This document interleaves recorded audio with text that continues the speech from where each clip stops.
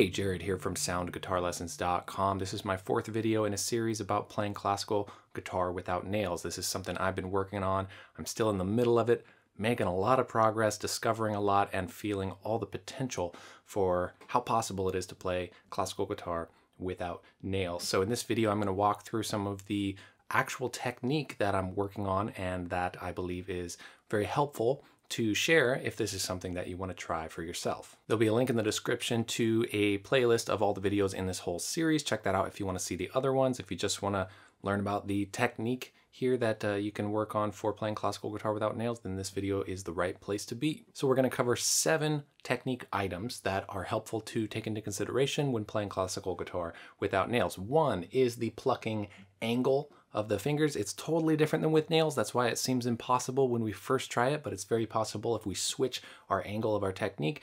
Uh, the second one is planting, which is a tried and true classical technique, and we're going to apply it for sure when playing without nails. The third one is string tension. We'll talk about string tension. The fourth one is rolling chords. We'll talk about that. The fifth item is volume. There's a big debate on whether or not you can play loud enough when you're playing without nails. Well, I am realizing that you definitely can. We're going to talk about volume. Two more, we'll talk about keeping the tips of the fingers soft so the calluses don't get too hard, which I believe is the way to go to get the, the better tone. And lastly, we'll talk about tremolo, which is the big question uh, about playing classical guitar without nails. Is tremolo possible? And I've been working on it a lot, so we'll talk about that as the last item. That's a lot to cover. Let's jump right into it.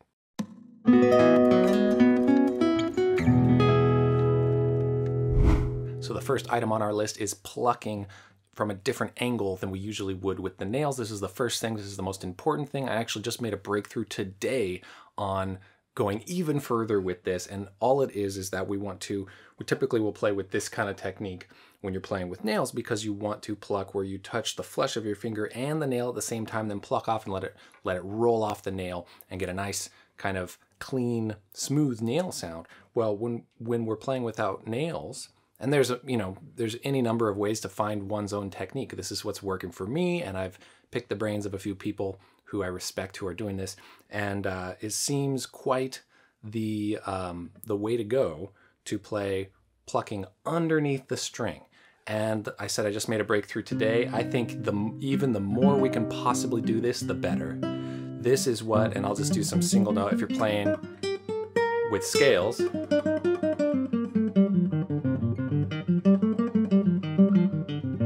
Notice how much I'm way over like this. This is how you'd play scales with nails. And I'm going like this. And have to say,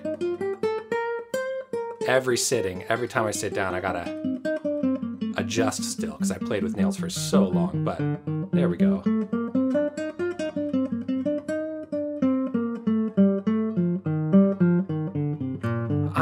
Loving that sound. If it's not for you, that's no problem.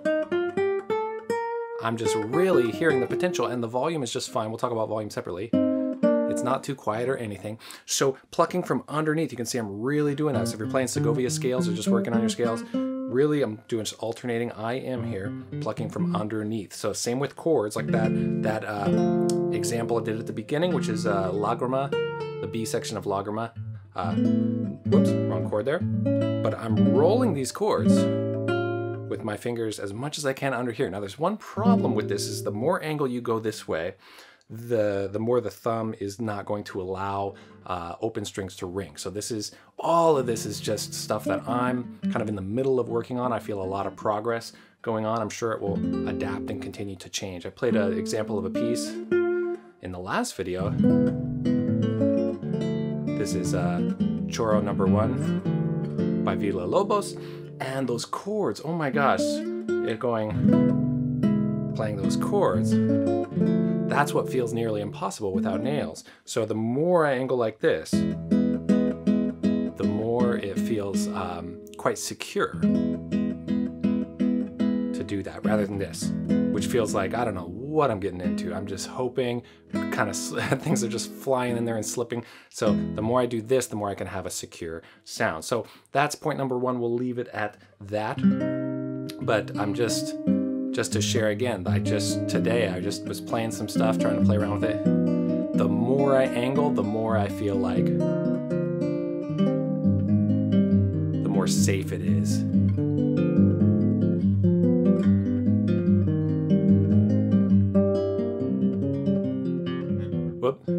So I can feel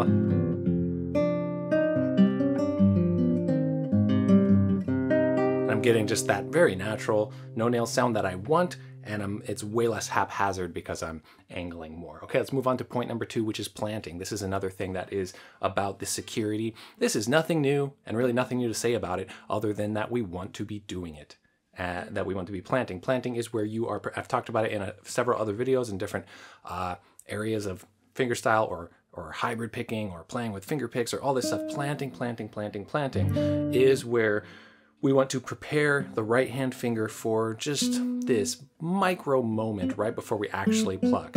So if I, if you hear this as kind of staccato, it's because I'm planting right after I'm done a previous note. I'm planting out of the next one. Now, what if you want it to ring? Of course, you let it ring. But then by the time when you're ready to play the next note, there's this moment. Ah, the ah, plant play, plant play, plant play. Okay, so you, even when playing fast, I'm technically planting like that. So just big time, big time, we want to be, we want to be always planting, preparing the note, getting a secure kind of place with the right hand and and that allows us to feel confident that oh I know what to expect. I know what tone I'm gonna get. I know what velocity and volume I'm gonna get. I know um, I can just feel the security of that. Otherwise we're just swooping in and hoping something happens and it's not a secure sound. So that's point number two. Point number three is our string tension. I'm just experimenting with this. I am down a whole step every string. So this is a low D and everything is down a whole step. So if I play any piece of repertoire, and this is where it's hard for me, if I'm used to the piece of repertoire, it feels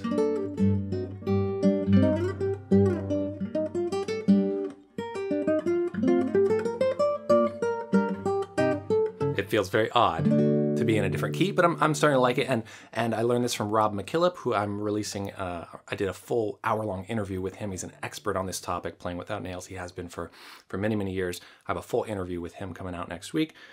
But he really recommends tune down a whole step so you have a lower string tension. And this really helps with at least initially working on this and learning how to do it. And honestly, I find it just really, really refreshing to have not just that same tuning and the same old lowest sounding string uh, as we typically have in standard tuning. So I like it because it's standard tuning relatively, but it just it's a little refreshing after playing guitar in, in typical tuning for so long. So I'm agreeing with this. I like it a lot. It the the string tension being um, looser, it just helps get a little bit of a grip there and it's less kind of slippery and slidey feeling. So um, whether these are also medium tension strings and then also tune down a whole step. So I recommend taking that into consideration. Number four, rolling, chord rolling. So this is, again, I played that example at the beginning of Lagrima. And if I do, if I play that choro,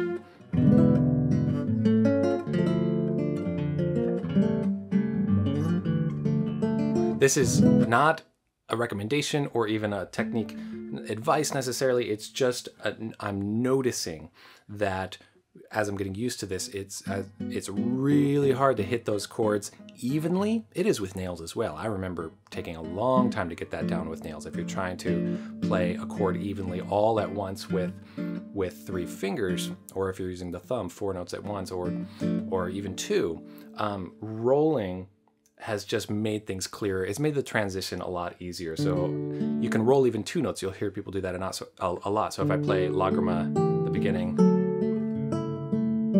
I might go, you hear ba-da, da, da. This is just me. This is just what I find comforting. Is it the right artistic choice? I don't know yet. I think over rolling is, is not that great um, sounding of a kind of an arrangement choice. Uh, but it's helping the clarity. It's helping the independent voices come out um, quite a bit easier for me. So I do find myself doing that a lot without, I'm not intending on keeping it that way. I want to have full control over when I do it. But in the, in the meantime, doing a lot of rolling um, to help it be clear is is helping me a lot. So I wanted to bring that up. The next item on the list is volume. All I want to say here is that when I started playing without nails, I thought I was sacrificing volume. I thought there was just no way around it. And that's one of the issues that people have with it. It's the critique that they often say. It's what Segovia said, you know, you will not be able to play as loud. I'm finding this not to be true. I really thought it was just going to be the case. And as I'm getting used to it, I really can dig in. If I use that same example with Lagrima,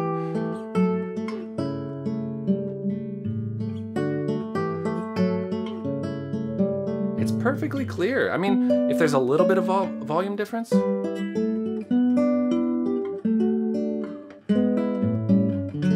I'm not concerned about it. It's perfectly loud and I can dig in more and get even louder. Big part of this is just because of that angle technique. If I'm playing with the nail technique, that's what people are talking about when they say it's not loud enough. This is nail, nail angle. It's kind of light and scrapey.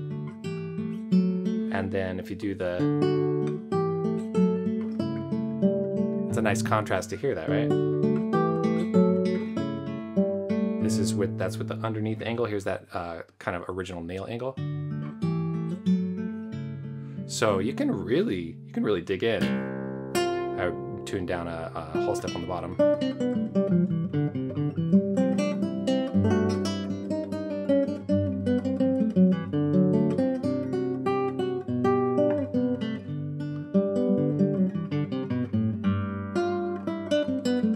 So I'm not feeling that. I am still, you know, don't have the security with the right hand that I want to, but I can feel that the volume is, is really not going to be a problem as I get more and more secure with that. Just two more. Number six, keeping the fingertips soft. This is my opinion. I, I do hear that some people like the idea of getting calluses so they can play with their fingertips and have it be almost a nail sound with fingertips. This is not the direction that I want to go with it. The, the when I first switched over and started doing the correct angle for, for the sound that I want, the tone was so warm and so wonderful, felt like a, a lute, especially if you play Renaissance or Baroque uh, repertoire.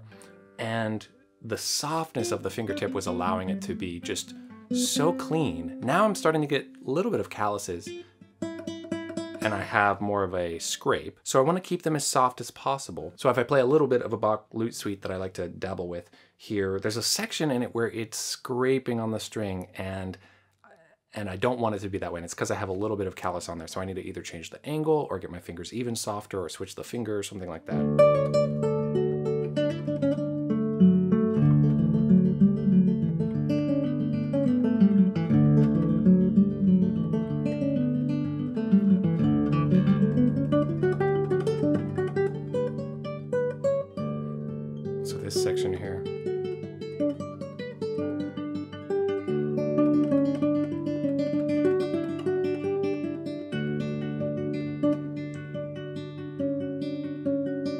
Top string. So anyway, listening to that, not getting the tone exactly that I want there, despite also playing it, you know, kind of sloppily there, but it's a hard, it's a hard piece I like to, I like to work on. And that note there is just because the, the callus on the fingers. So I'm, you know, keeping them soft, some people will wipe their their face a tiny bit tiny bit of sweat there. That really goes against i'm often wiping my guitar and my hands constantly with a, a little rag here but but it's re, but it really does work to get a little bit of oil a little bit of um, balm or something. I use a hand cream at night also so it doesn't get too hard and um, I used to do that anyway for my nails to keep my nails nice and soft so they weren't brittle and breaking easily. So just some thoughts there. Okay, lastly, let's talk about tremolo. Okay, tremolo, it's one of those things where I, some days I'm feeling like I am really getting close to what I want with to play, be able to play tremolo without nails. I had a pretty decent tremolo when I had nails, so I'm you know have this idea in my mind of what I'm going after, at least in terms of quality level. Um, but uh, some days are just off days and I feel like, oh, it's way further away than I think. So the way, whether you're using nails or not, the way to work on tremolo that I find very effective and that is recommended by a lot of people is to do a speed burst where you might do it really slow with planting. So I'm planting. And you hear that staccato sound. So you do it once like that and then and then alternate it with one time fast. So or two times fast either way.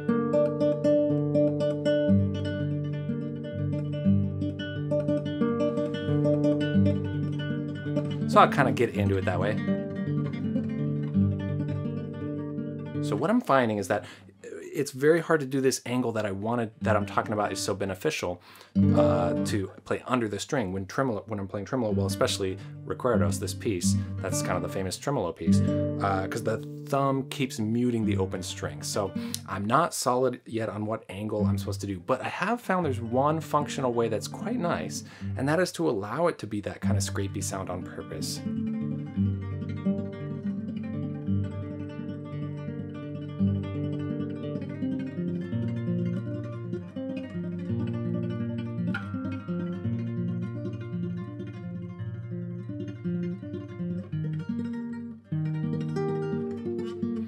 Hear that. Got to get that. I lost it. You hear the potential there, though. I'm.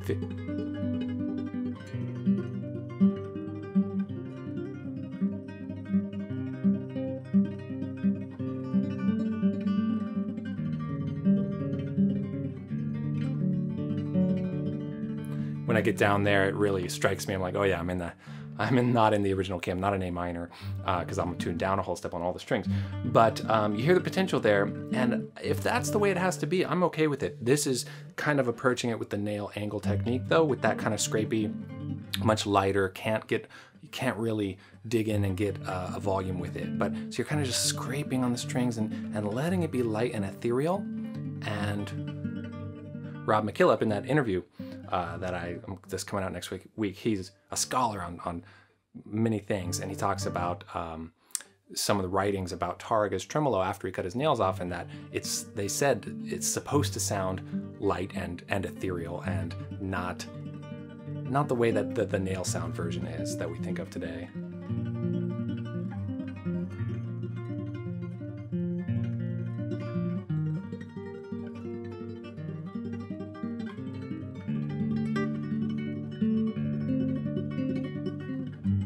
So you can see how uh, it's starting to get there, and I and uh, as I get more secure with it, I can start to dig in a little bit too. I think that it's going to end up being somewhere a little more angled this way, because if I do that, I can start to get hear how different that is.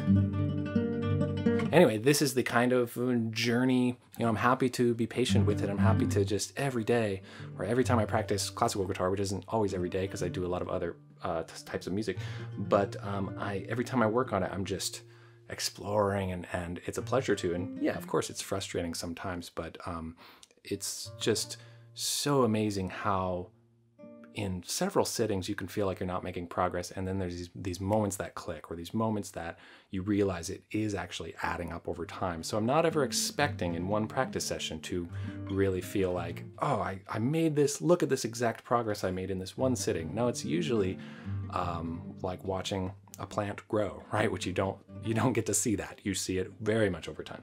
If you want a fun little resource to play around with, I have an awesome chord chart called Chords with Color. I, uh, it's one of the many things I like to just give away on this channel, free PDF download. There's a link in the top of the description. Uh, I like to play many, many genres and styles and compose and do all kinds of things. And uh, this uh, little chord chart is great for studying theory. It's great for just exploring some new voicings. If we look at one of these pages here and, and listen to it with this sound here, oh, gorgeous. This is A minor 9. And there's all these voicings of various chords. If you want to play C major 9, if you want to play C major 6 9, you can choose any one chord and then replace it. Anyway, I love to play with these um, on the nylon string guitar. That's why I also talk about it on these classical videos. This is A minor 6 9, A minor 11, B minor 11.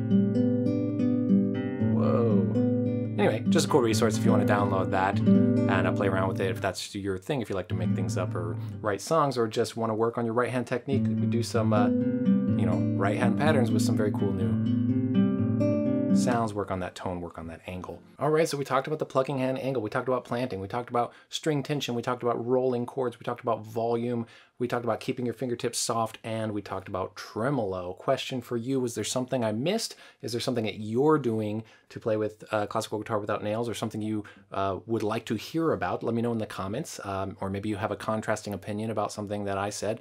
Uh, share away. Let's talk about it in the comments. Let me know down there. I post a new lesson video every week. Next week will be the final video on this topic in this series. That's going to be my big full interview with Rob MacKillop. He is a master and, and just a wonderful person. I really see him as a mentor, and we had a great chat. So I have a full interview with him coming up next week, and that'll be it for this series. After that, I'll be talking about some other cool stuff like fingerpicking style on steel string guitar and uh, some jazz stuff coming up in the future. Hope to see you in those lessons. Thanks for watching. Take care and happy practicing.